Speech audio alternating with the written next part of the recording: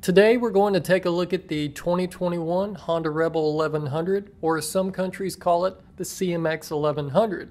We'll talk about where this 1100cc cruiser fits into Honda's current motorcycle lineup, and we'll go over some of its specs and features. Plus, we'll start it up so you guys can hear what it sounds like and a lot more. But first, if you guys find any info in this video helpful, please take a second and hit the like button. Liking the video and commenting below really helps with growing this channel through YouTube's algorithm, and I really appreciate the help, guys. Now, where does the Rebel 1100 fit into Honda's current cruiser lineup? We'll start with the Rebel 300 that comes in at $45.99, and then you have the Rebel 500 at $62.99. Then we jump over to models that Honda didn't release a 2021 model year for, and that's the Shadow Aero 750 at $76.99 and the Shadow Phantom 750 at $78.99, and that's followed up by the largest engine of the bunch, but not the highest horsepower, the Fury 1300. The Rebel 1100 is not only the only cruiser from Honda to come standard with ABS, it is the only cruiser to have an optional DCT automatic transmission, and that's the version that we're looking at today, but we'll be covering both models in this video.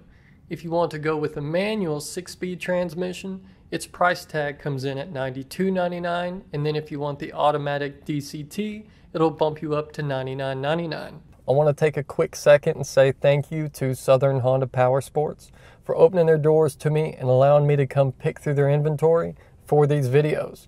They are a massive Honda Power Sports dealer here in Chattanooga, Tennessee, with tons of inventory from new Hondas to used Harleys and everything in between that they sell to people from all over the USA. So check out the link in the description below and head over to their website to see if they can save you some money on your next toy.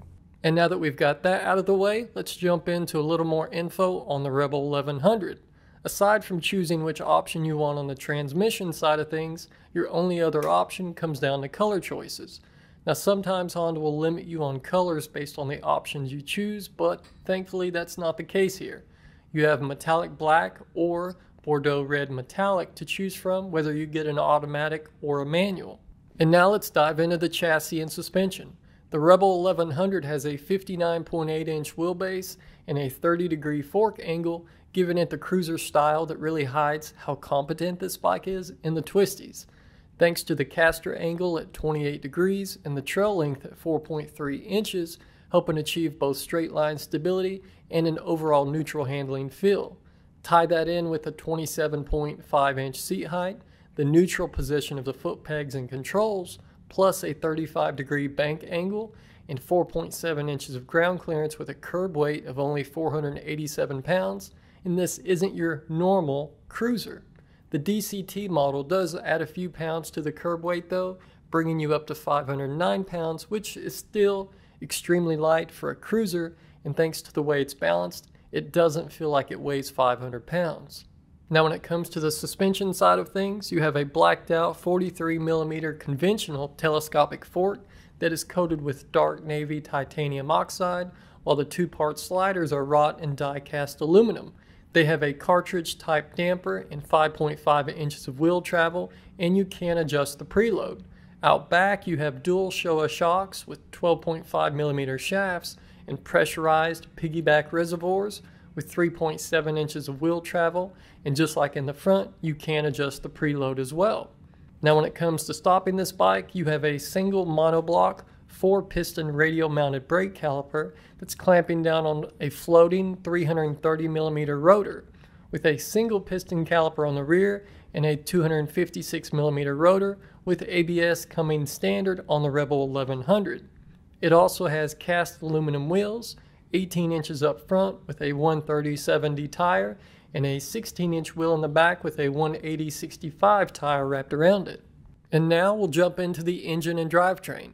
The Rebel 1100 has a 1084cc single overhead cam 8 valve parallel twin cylinder engine that is based off of the Africa Twin 1100's power plant, but with a variety of key changes that have completely altered its overall feel and to cater to more of a cruiser style bike over an adventure model.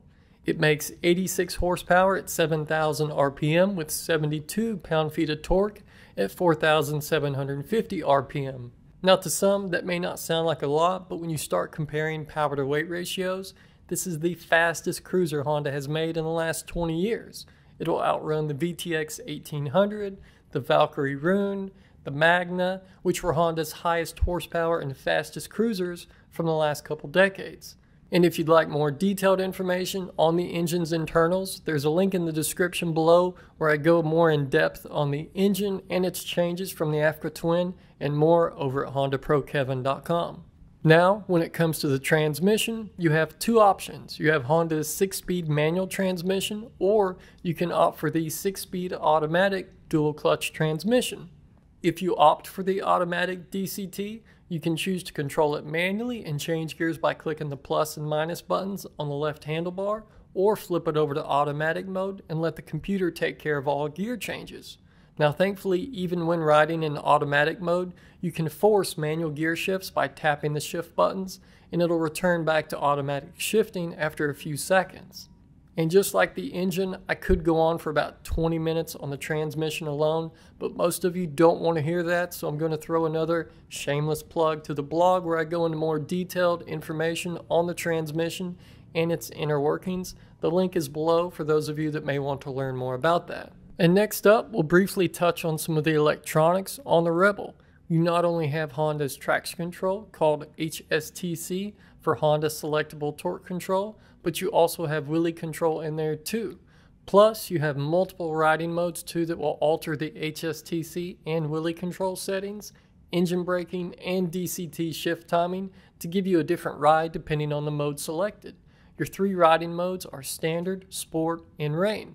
In addition to those, you also have a customizable user mode that can be set up to your own preferences. Plus, we can't forget that it also has cruise control, which is a big thing to a lot of riders, and thankfully, it's starting to become more of a standard feature from Honda. Helping you cycle through all these modes and settings is your 4.7 inch diameter screen with an LCD display. And for lighting, you have a 6.9 inch LED headlight with 2.1 inch LED turn signals to match the overall styling. And next up, how about accessories? Thankfully, Honda isn't treating this bike like a red-headed stepchild like they do with some models, and they've actually created a few OEM accessories for the Rebel 1100. You've got different fenders, headlight cowls, luggage racks, saddlebags, windshield fairing, rider and passenger seats, plus more. And speaking of passenger seats, I'd love to ask Honda why they opted to bring ours over here without it. I'm not hating on the fact that they did it because you have the option to add it if you'd like, but I just like to hear the reasoning behind it. Some of the decisions and why they make them have always interested me. But now, let's start it up and then we'll come back for a few more things.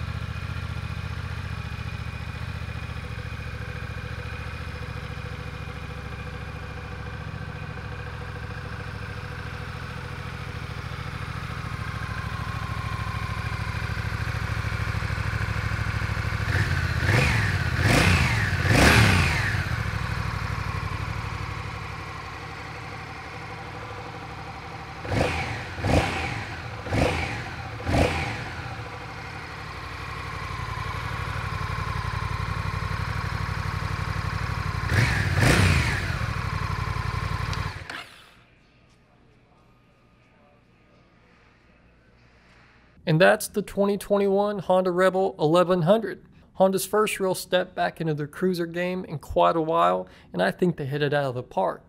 Is it perfect? No. Could they make it better? Oh yeah. However, for the money, I think you'll have a difficult time finding a cruiser that offers what this bike does and for less than 10,000 bucks. Plus, you have an optional automatic transmission. How many other manufacturers can say that? But this is a conversation, guys. I love hearing your thoughts and opinions. What do you think about the Rebel 1100 and the direction Honda went with it? What would you like to see Honda change in the future? And That's a wrap for this one, guys. Thanks again for all the support lately. I really can't say how much I appreciate it. Thank you, and we'll see you in the next one.